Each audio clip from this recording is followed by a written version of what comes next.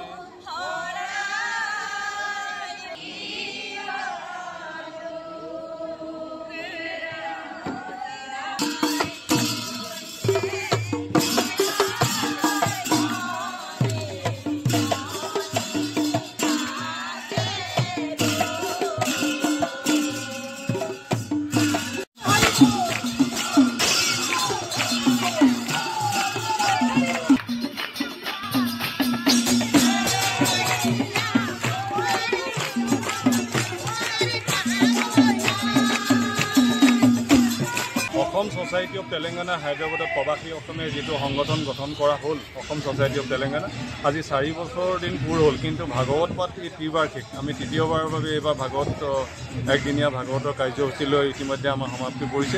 এতিয়া দিহানাম চলি আছে। আমি এইটোৱে ক'ব বিচাৰোঁ অসমৰ সংস্কৃতি আমি প্ৰৱাসী অসমীয়া বাহিৰত থাকি আমি জীয়াই ৰাখিবলৈ সক্ষম হৈছোঁ। আমাৰ অসমীয়া একতাৰ বাবে আমি কিছুমান অনুষ্ঠান কৰি গৈ আছোঁ। যিবোৰ অনুষ্ঠান আমি অসমীয়া সংস্কৃতিৰ লগত জড়িত আছে। যেনেকৈ সকলো কাম কৰিবলৈ আমি জন্মাষ্টমী ভাগৱত পাঠ। আমি কলাগুৰু বিষ্ণু ৰাভাৰ দিৱস আমি মিচিং জাতীয় সম্প্ৰদায়ৰ যিটো আলি আই লৃগাং আমি এইবিলাক পাতিবলৈ আমি সক্ষম হৈছোঁ যিহেতু আমাৰ কোনো জাতি ধৰ্ম নিৰ্বিশেষে প্ৰৱাসী অসমীয়া হায়দৰাবাদত বাস কৰি আমি যিটো একতা বোধ কৰিছোঁ সেই বোধতে হয়তো আমাৰ জন্ম হৈছে এনেকুৱা কিছুমান অসমীয়া সংস্কৃতি। আজি এই অনুষ্ঠানত আপোনাক নিশ্চয় আপুনি দেখিবলৈ পাইছে যে আমাৰ প্ৰৱাসী অসমীয়াৰ কিমান একতা।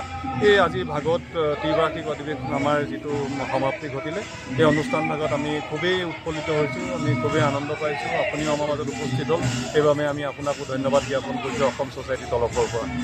আ, অসমৰ প্ৰতিটো জেগাৰে যোৰহাট গোলাঘাট শিৱসাগৰ নাওজান চুঙাজান এইফালে আপোনাৰ ডিব্ৰুগড় তিনিচুকীয়া লখিমপুৰ ধেমাজি ঢকুৱাখানা গোৱালপাৰা গোলাঘাট সকলো জেগাৰে কোনো অসমৰ কোনো নিৰ্দিষ্ট কোনো জেগা নাই কোনো নিৰ্দিষ্ট ডিষ্ট্ৰিক্টৰ বুলি আমি ভাৱধাৰা নাহে অসমীয়া আমি এক বুলি প্ৰকৃততে আমি ভাবোঁ আচলতে।